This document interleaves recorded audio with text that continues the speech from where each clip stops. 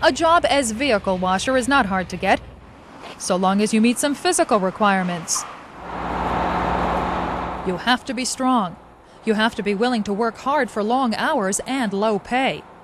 You have to be able to lift and carry heavy objects, to stoop, kneel, crouch, or crawl in awkward positions. You might need to wear safety clothing to protect yourself from chemicals.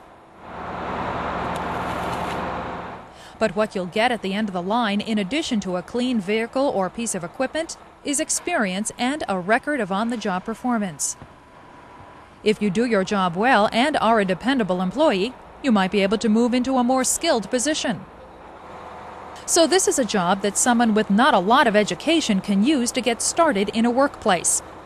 Vehicle washers are usually trained on the job. A lot of that training is through spoken orders, so being able to speak and understand the language used at the job site might be important to getting the job. Because machines do more and more of the washing, there are fewer of these jobs available than in the past. But there are still a lot of openings every year because it's a job that people take for a short time or because they move up to more skilled positions.